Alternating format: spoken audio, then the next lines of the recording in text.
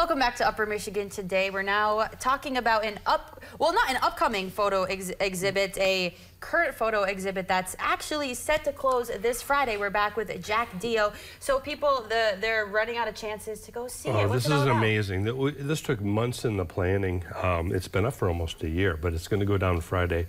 It's called uh, Exposing Photography, but it's probably the biggest collection of antique photography equipment uh, that you'll ever see in the UP. You probably have to go to Rochester to the Kodak Museum because my collection, Don Balmer, who's a local collector and uh, teacher that was in Marquette, really into photography, and then the History Center's collection okay. of equipment.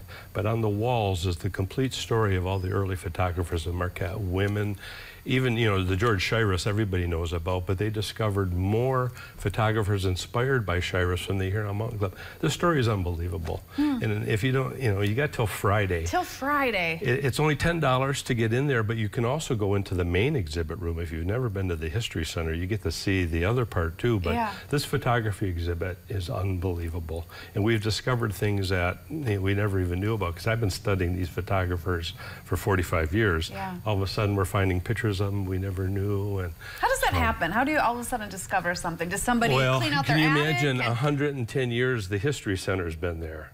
and they've had velvet albums, photo albums that they never pulled out every photo mm. until we, you know, so we always thought we had two shots of B.F. Childs. He was the famous UP photographer, probably the greatest in Lake Superior.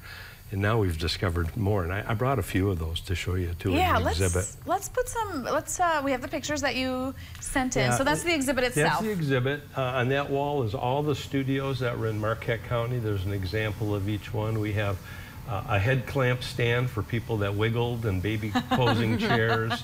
Uh, but the, the, equipment, you know, what they had at the museum was unbelievable. Uh, the best of my equipment and the best of Don Balmer's is on display. But um, it's, it's quite amazing. And, and, the shot that you're going to see at the end here, I'm going to talk about because it shows one of the newly discovered photos of B.F. Childs on the left, Christian Brubaker in the middle, and that's Mrs. Childs on the right. And their pup. What's that? And their pup. and, and, the dog, yeah. now, you know, I've been looking for photos of Childs, and here we discovered him during this exhibit. Uh, Childs came here in uh, 1868. Brubaker wow. was a daguerreotypist in Houghton in the 1850s. But what happened is we discovered that all these photographers, there was five stereo photographers in Marquette, Emery, Brubaker, Whitesides, Brubaker, or, and Childs and Cole. And there's a woman doing a book about the, them right now. She wrote a grant to the Library of Congress. She loves Marquette photographers. And she came and saw my collection, so we're going to put this book together. But uh, these guys all worked together. Some retired together. Some became pharmacists because they knew chemicals. Sure. You had to sensitize your negatives.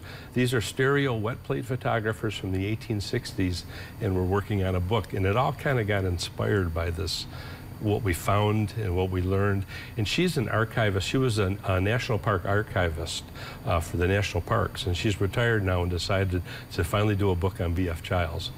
And I mean, that's my guy. yeah. Know? So this is going to be amazing. It'll probably be out in about another year or so. Okay. But she went to the Library of Congress and found all this info about these five Marquette photographers that were world renowned, you know, as far as uh, yeah. uh, what they did. Their, their photos of uh, the UP were shipped all over the country, hmm. the mines, the Native Americans, but all in 3D. Yeah. They're stereo cards. Yeah. And so it's pretty amazing what we discovered because of this show. But get there before Friday. I mean, you'll never see anything like this again. I know it's been up for a year, but I thought one more push. Uh, yeah, $10 gets you in the door. And you can yeah. see the other exhibits too. What do you yeah. hope uh, people take away from this exhibit? Well, it's just amazing. I mean, Marquette is is world. I mean, the the history here is mm-hmm. unbelievable. Mm. We keep finding more stories. I mean, how many years have we been finding stories, and we're still discovering amazing things about it. So you'll just appreciate, especially the George Shiras story. I mean, the first wildlife photographer in the world. Mm. Then we discovered two guys from the Huron Mountain Club that were inspired by him that wrote books published books on photography. We never knew about it. Mm. So a lot of new things to learn about uh, Marquette County history.